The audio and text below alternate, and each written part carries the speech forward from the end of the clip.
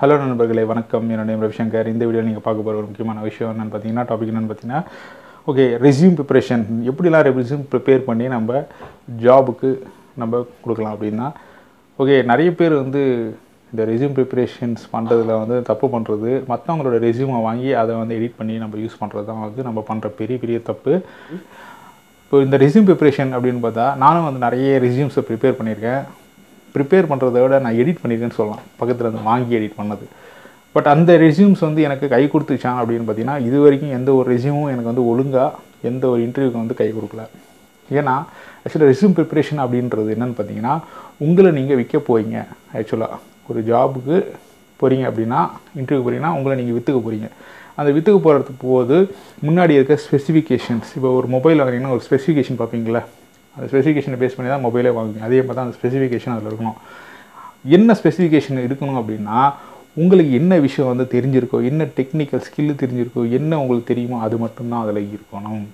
நீங்கள் நம்ம என்ன பண்ணுவோம்? நீங்கள் நீங்கன்றோம். நம்ம என்ன பண்ணுவோம் அப்படின்னு பார்த்தீங்கன்னா அதர் ரெசியூம்ஸ் எடுப்போம்.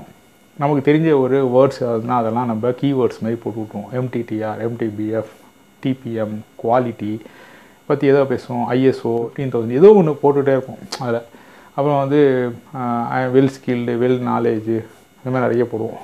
பட் இது எல்லாமே வந்து நீங்கள் வந்து பர்ஃபெக்டாக இருக்கீங்க அப்படின்னு பார்த்தீங்கன்னா இருக்க மாட்டீங்க.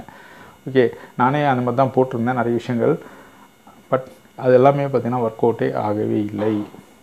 ஏன்னா மற்றவங்களோட ரெசியூம்ஸில் வந்து என்ன ஒரு பிரச்சனை அப்படின்னா நிறைய விஷயங்கள் போட்டால் சர்ச் பண்ணி எடுக்கும்போது நம்மளோட ரெசியூம் அவங்களுக்கு போகாதா? அந்த ஜாப் நம்மளுக்கு கிடைக்காதா? அப்படின்னு ஒரு ஆசை தான்.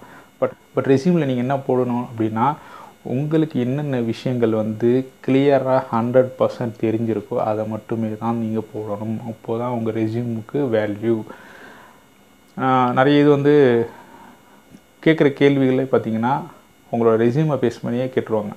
ரெசியூம்ஸ் நீங்கள் என்னென்ன போட்டிங்களோ அதை பேஸ் பண்ணி தான் கேட்பாங்க. அதனால் ரெசியூமில் தெரிஞ்ச வரைக்கும் போடுங்க. புதுசாக எந்த விஷயங்களும் ஆட் பண்ணாதீங்க. உங்களை நீங்கள் விற்கணும் அப்படின்னா உங்களுக்குள்ளே என்னென்ன ஸ்டஃப் இருக்கோ அந்த ஸ்டஃப் மட்டும் தான் அதில் இருக்கணும். அடிஷ்னல் ஸ்டாஃப் போட்டிங்க அப்படின்னா ரெண்டாவது கேள்வி கேட்கும்போது நீங்கள் மாட்டிப்பீங்க. நீங்கள் உங்களால் சரியாக பேச முடியாமல் திணறிடுவீங்க. ஒன்ஸ் இன்டர்வியூவில் கூட நீங்கள் செலக்ட் ஆகும்போது இதே தான் பிரச்சனை.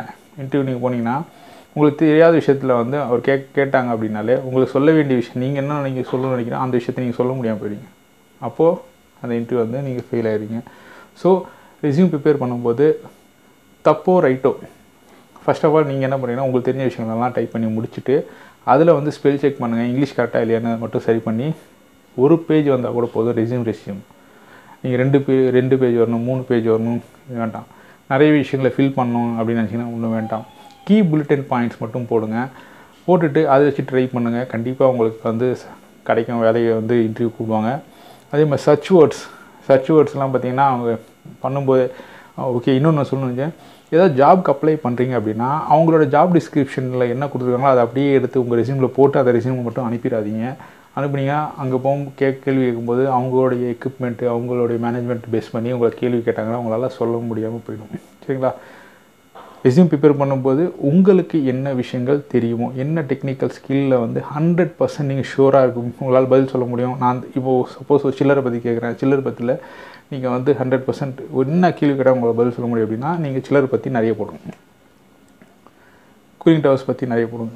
அந்த மாதிரி உங்களுக்கு என்ன விஷயங்கள் தெரியுமோ அதை மட்டும் போடுங்க. பேசிக் எலக்ட்ரிக் நாலேஜ் இருக்குது அப்படின்னு போடுவோம் சில டைம் திடீர்னு பார்த்தீங்கன்னா உங்களுக்கு பவர் ஃபேக்டரை பற்றி எதாவது பேச ஆரம்பிச்சிட்டாங்க. கெப்பாசிட்டர்ஸ் பற்றி பேச ஆரம்பிச்சிட்டாங்கன்னா உங்களால் சொல்ல முடியுமா சொல்ல முடியாது. அதனால் வந்து இன்ஃபர்மேஷன் கண்டிப்பாக கரெக்டாக இருக்கணும். அதுவும் அந்த ஹண்ட்ரட் பர்சன்ட் உங்களுக்கு தெரிஞ்சிருக்கணும். நிறைய பேர் பேர் பண்ணுற தப்பு என்னென்னு பார்த்தீங்கன்னா ரெசியூமில் இருக்கிற கே ரெசியூமில் இருக்கிற விஷயங்களை வந்து கேட்டாலே சொல்ல மு சொல்ல முடியாமல் போயிடும். ரெசியூமில் என்ன போட்டிருக்காங்கன்னே சொல்ல முடியும். அதில் ஃபஸ்ட் டைம் மேலே ஒன்று போட்டிருப்பாங்க தெரியுமா? எய்முன்னு சொல்லி அந்த மாதிரி போட்டிருப்பாங்க.